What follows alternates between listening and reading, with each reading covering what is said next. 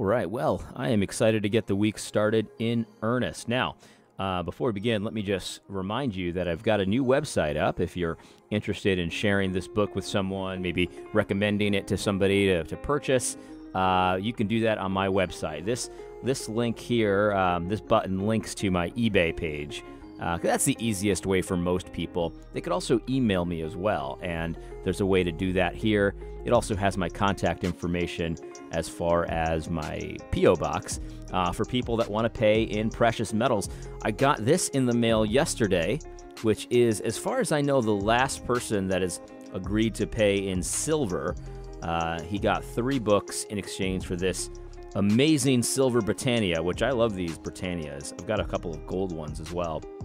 Um, but yeah, this is an ounce of silver from uh, the UK. And uh, in the back, it's got the Queen, which a lot of coins for some reason have the Queen on the back. But uh, I don't really care so much about that. But I do like having silver. Um, also, if you are interested in uh, supporting me on Patreon at the $15 level, I'll also be sending you a book. Uh, to have. So, uh, all the patrons um, have been asking when am I going to be sending those books out. I will be sending those books by the end of the month uh, to everybody who, who wanted one.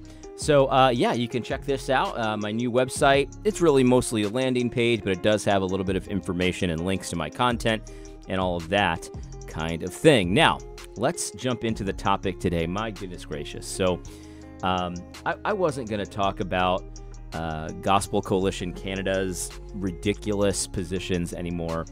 Um, but I, I saw this this uh, I guess it's a tweet from Tim Stephens.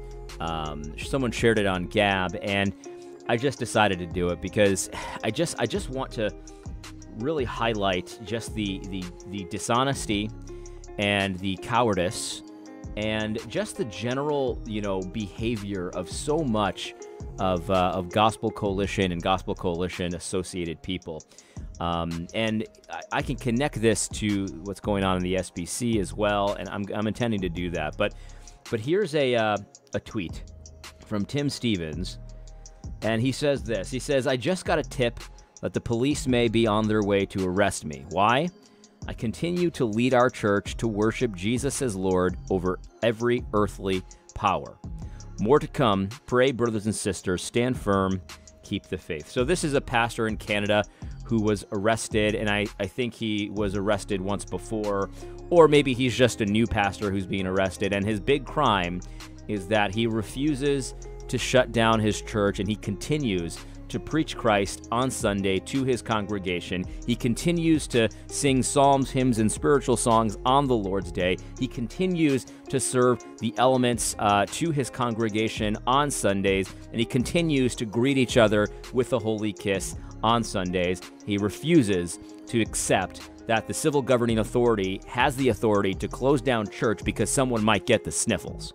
So that's a very radical, uh, outrageous claim, I know, especially when you worship the state. That's an outrageous claim. But, uh, you know, he's not willing to say we have no king but Caesar. Absolutely not. We have a king, and his name is Jesus Christ. He's our Lord, he's our Savior. We do what he says, not what you say pretty simple, right? I mean, it's not it's not it's not complicated stuff.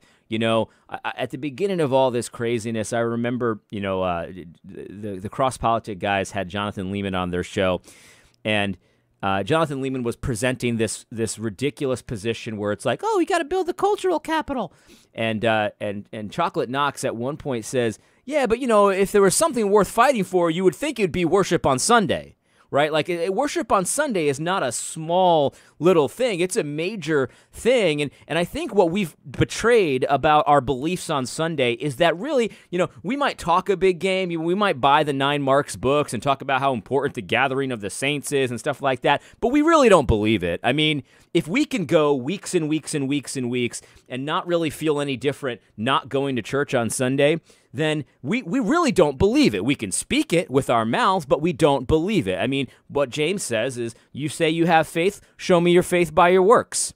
I've got works. I can. I, I you, when when you see how I act, what I do, it proves that I believe what I say I believe. When you act and, when you act and you don't do the things that you say you believe, then how? Why should I believe you?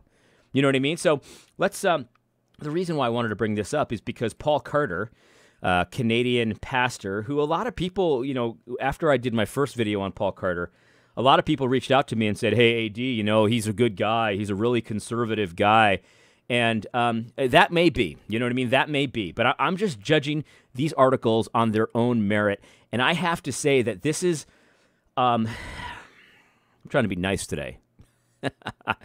this is, it's hard to imagine putting yourself in the mindset, in, in the mental place that Paul Carter must have been when he wrote this article. This article does not name the pastors who have been arrested. This article does not even address it. It's, it's as if it didn't happen. The first article didn't really address it either. Now, this one addresses it slightly more, but still does not use any names, doesn't go into any detail. And the whole point of this article is that, sure, you know, pastors are being arrested, but, you know, it's not real persecution. Here's, here's, here's the, uh, the, key, the key paragraph here. And I encourage you to read this all, this, uh, this whole article because it's all a bunch of nonsense. So let's, um, Let's see if I can find it here. Hold on. Here, here's here's here's what I'm talking about. He says, as I write this, a number of churches in Canada are wrestling with the question of how they should understand the challenges we currently face with respect to the health and safety protocols enacted by the government in the battle against COVID-19. Does this qualify as persecution? When the government says that you can only allow 100 people in your sanctuary that can normally seat 650, that can certainly feel like persecution. It will undoubtedly be difficult. That is the reality I'm facing here for the next two to three months. May his church shrink to zero. Sorry, that wasn't in the article. That will mean waking up at 4 in the morning to run multiple services inside and outside, morning and evening to serve our entire congregation. That is going to be difficult. It is going to be borderline exhausting, but I have a hard time thinking that of that as persecution. Brothers and sisters in North Korea are meeting in groups of four to five in basements and root cellars, whispering hymns in the dark, knowing full well that if they get caught, they will be executed or sent to internment camps. That is persecution. What we're experiencing here in Ontario and throughout most of the provinces in Canada is inconvenient and exhausting, but it doesn't feel to me like persecution, and I don't think it would be helpful for our people if I if it if I called it that. And so his point is that it's not as bad as it is in North Korea, and it's not as bad as it's been in the past, therefore it's not persecution. The idea being, and, and again, he, he basically ignores the arrests, right? He says, well, you know, they're just telling you you can't have that many people in your church. Um, so that's not persecution. You know, they, they're just they're just making life more difficult for you. That's not persecution. But of course, he ignores the people that have not obeyed that and, and have been arrested. So um, it's it's it's kind of an irrelevant article, but it's also a very devious, sneaky article um, because to write an article about the what's going on in Canada and to ignore those who have been arrested, I think um, you know you have to understand that to be a very strategic thing. And I think I know why he does it because in the scripture it talks about arrests as persecution. And obviously so. I mean, you know, if, if, if you think that the only thing that qualifies as persecution is if they kill you, um, which at, uh, there's an article here that kind of tries to make that case. Let me see if I can find it here. Here's an article Paul wrote a couple uh, a couple of weeks ago. He says when they are arresting your pastor and chopping him into little bits and throwing him into Lake Ontario, it is time to take shelter into a barn. And he says that's persecution. So in Paul's mind, that uh, unless they're killing you or cutting off your limbs and arms and throwing you into a river uh, or a lake rather, then then it's not persecution, which is a stupid position and it's not biblical. So I think what happens here is that Paul ignores the arrests because he knows that the Bible speaks of arrests as persecution. Here's um, here's Acts chapter five.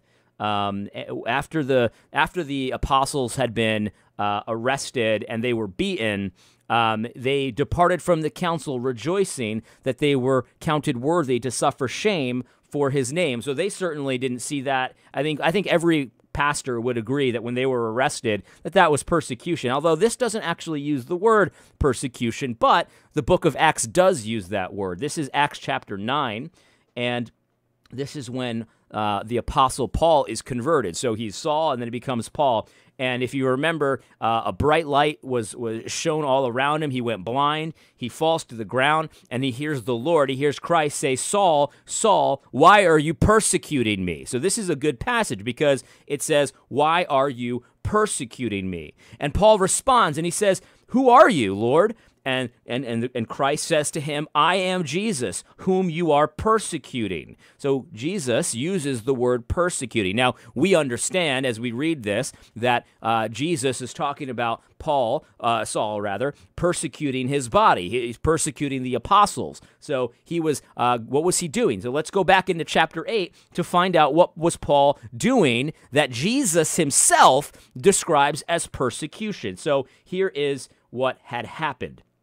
If you remember, uh, Stephen, he was a deacon. He gets uh, he gets stoned to death because they say he committed blasphemy. Now, of course, he did not commit blasphemy. He he went. He, this guy knew the New, Old Testament better than probably they did. He goes through the. You remember, he goes through the whole presentation. It's a whole sermon from from Genesis all the way to the end of the Old Testament, talking about how Christ is Lord, right? And then they get all pissed off because he accuses them of of killing uh, the Lord, right? So um, here's here's what happens. They they stone him, right? They stone him. And Saul, it says, consents to his being stoned, right?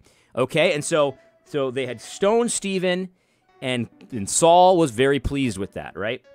And here's what the next sentence says. This is Acts chapter 8.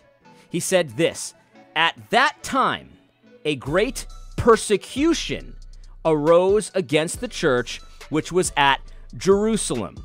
They were all scattered throughout the regions of Judea and Samaria except the apostles.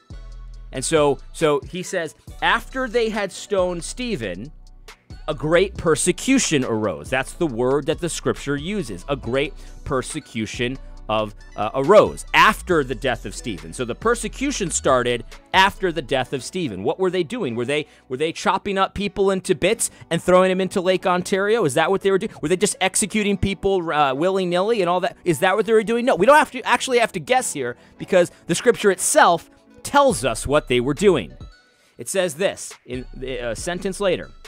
As for Saul, he made havoc on the church, entering every house dragging off men and women and committing them to prison.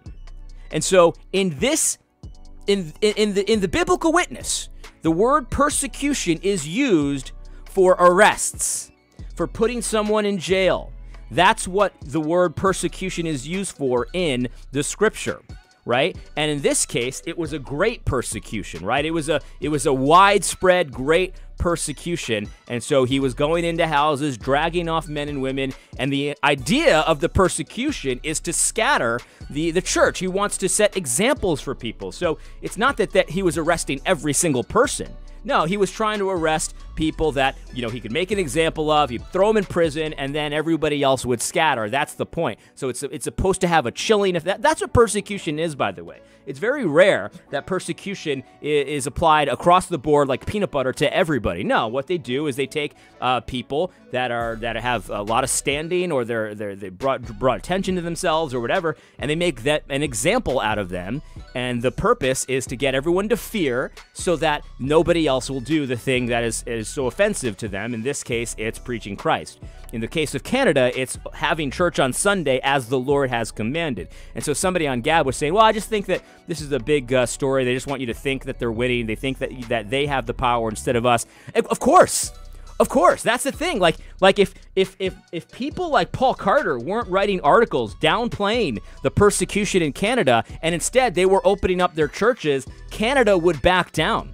Canada would say, you know what, we're not gonna we're not gonna arrest every Christian here. But no, people like Paul Carter are providing cover for the Canadian government and saying there's not not even mentioning the arrests, not even mentioning the arrests, because I think if Paul did mention the arrests, then he would have to admit that it is persecution since the word of God, Paul Carter, with all due respect, I don't care what you have to say. The word of God counts prison and, and arresting people and putting them in jail as persecution regardless of whether you chop them into bits and throw them into a Lake Ontario or not. So that might be your standard, Paul, right? But I actually don't care what your standard is. The Word of God says that arrests are persecution.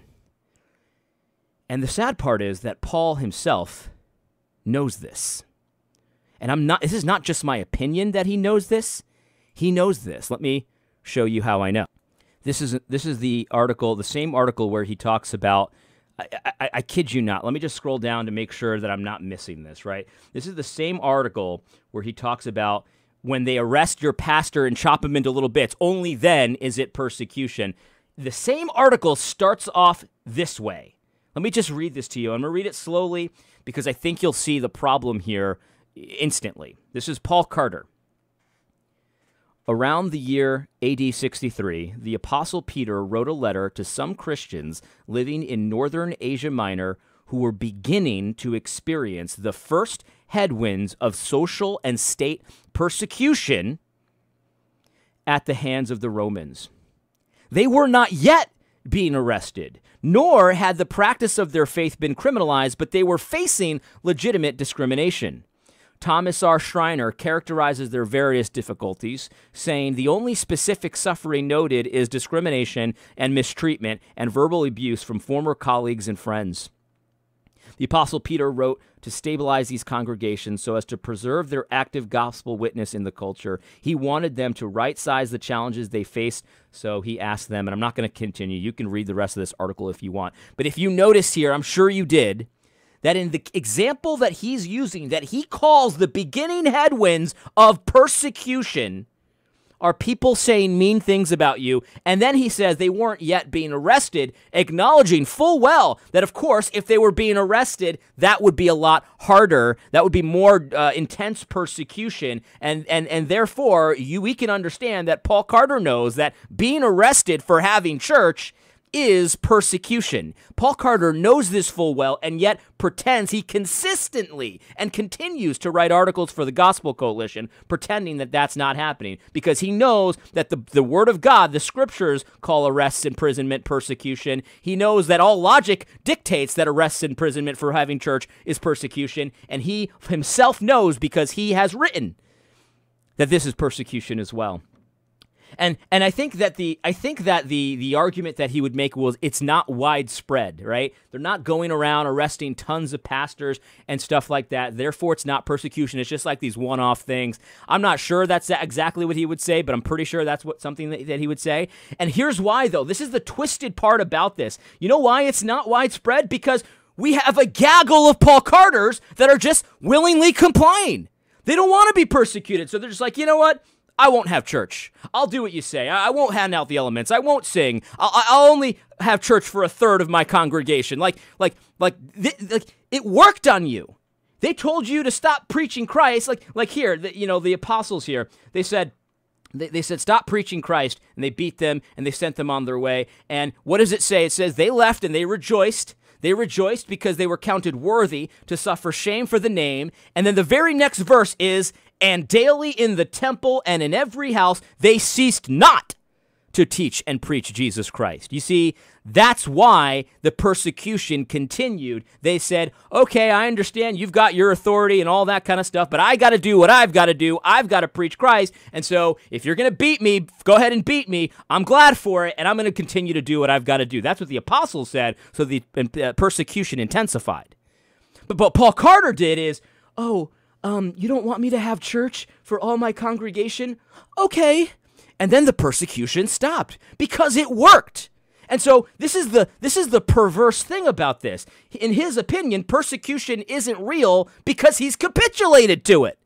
He said, Okay, master, I will do what you say. In fact, if you want me to write an article to show to everybody how great you are and how uh, you're not persecuting anybody, and my, my, my Christian brothers over here who are being arrested don't even exist, sure, I'll do that too. You see what I'm saying? So, like, this is perverse.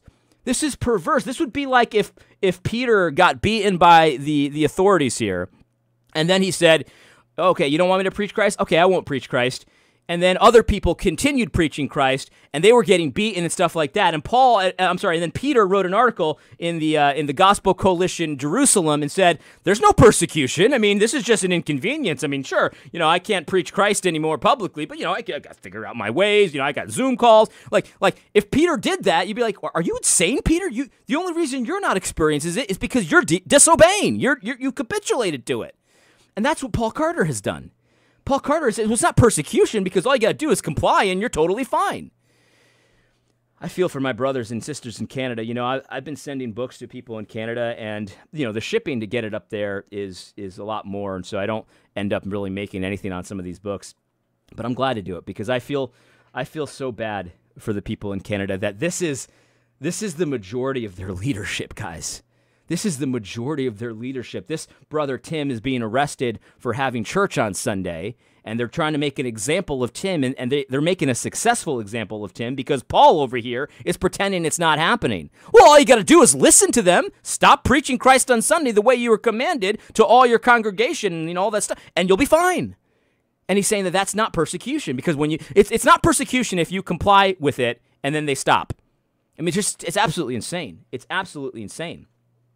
But I feel for brothers like this because the reason why they're able to make an example of Tim is because cowards like Paul, and I'm sorry, this is he's a public coward. You know what I mean? This he's doing this publicly. Are, are are giving lots of people cover to just not meet for church on Sunday, and that's a real problem. Because if every Canadian church opened today and did what they had to do today, this would stop this would stop. They would not have the guts to arrest every Christian pastor in Canada. This would stop. And so it's just a real perverse situation. And I'm going to relate this to the SBC stuff. Um, the SBC stuff that's happening this week. John Harris gabbed here. He said, when Democratic Party dirty tricks show up at the Southern Baptist Convention, you know that unless those behind them receive a rousing defeat, the leadership of the convention cannot be considered operating by Christian standards any longer.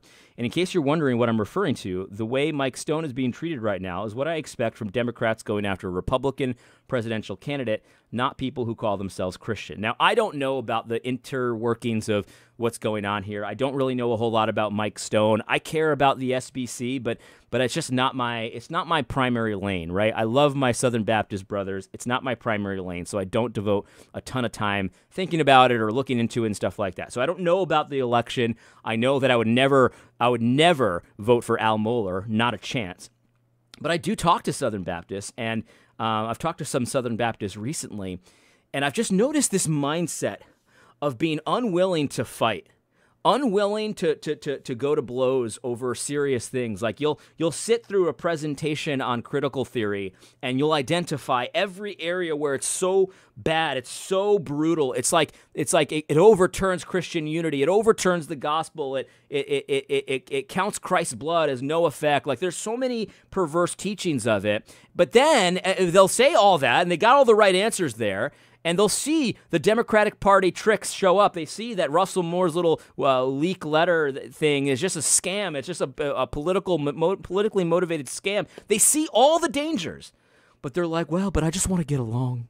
I don't want. It's not. It's not like I, I don't think that it's it's worth it to fight it. I, I just I just don't. Uh, unity is most important. It's like yeah, unity is important, of course, but unity over truth. If the critical theory stuff that you claim to be so against is such a big deal, then you need to act because it's a threat to the unity of the church you claim to want to have unity with. You have to fight. Fighting unity requires fighting a lot of the time. It just simply does. And I just there's just there's just this mindset of just a a, a, complacency. Just I, I refuse to fight as if that's a positive thing. I refuse to to to to to to come across too harsh as if that's a positive thing when the when the, the unity of the church of God is at stake. That's not the position that Paul took. That's not the position that Jesus took. We, it, it's it's necessary. If, if you love your neighbor, it is necessary to fight sometimes necessary. And what I get is with all this, all these dirty tricks, you know, my uh, what, what I think is likely to happen in the SBC. Again, I, uh, this is a very unstudied, unlearned opinion. I think probably um, the, the, the, the, the, the Democratic side of this, you know, the side that's using the dirty tricks, the side that's leaking letters fakely, the side that's calling everyone and their mother a racist, they're going to end up winning they're going to end up winning. And it'll either, either be through their own candidate or it'll be through Al Mohler because Al Mohler's the king of this, right? He'll write the scathing rebuke of critical theory all while he employs critical theory. And you know, by the way, I'm just I'm just going to treat Al Mohler the way he told me he wanted to be treated. He said, "Look at who I platform." Well, you you platform a bunch of people who are very influenced by critical theory. Obviously so. That so so you can say what you want all day long, and I like that standard, by the way, Al. I think that's actually an appropriate standard because, as James says, "Show me your faith by your work." So you say you have faith that critical theory is uh, is is dangerous to the gospel, yet you employ critical theorists at your school. All right, well you've shown me your faith by your works. You're full of hot air. It's just that simple. And so, I um, I I just hope that this this attitude of of not being willing to fight for things that you claim to think are important just dies a very unceremonious death. An unceremonious death. That's why I, I, I, just don't think that, that Paul Carter is going to be effective for his congregation as he pretends that there's no fight coming, there's no persecution coming because I've complied with everything and they've been totally fine to me. It's like like that that's that's not the kind of leadership that we need right now. That's not the kind of leadership that we need right now. Paul Carter doesn't have your back.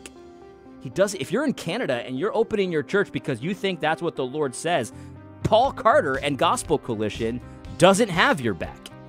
And that's that's sad, but you have to acknowledge it and move forward because who cares if they have your back or not? Christ has your back.